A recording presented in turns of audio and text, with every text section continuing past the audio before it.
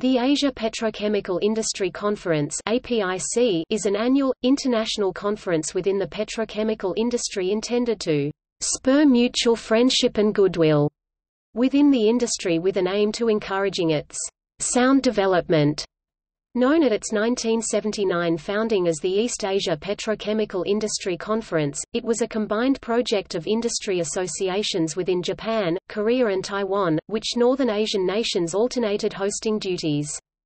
In 2000, the conference was retitled to its current name when India, Malaysia and Singapore entered the hosting rotation. Thailand is also currently among the conference's hosts.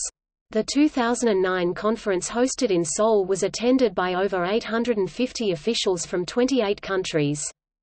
The 2010 conference was held on 13 and 14 May in Mumbai and attended by over 1,400 delegates from 40 countries.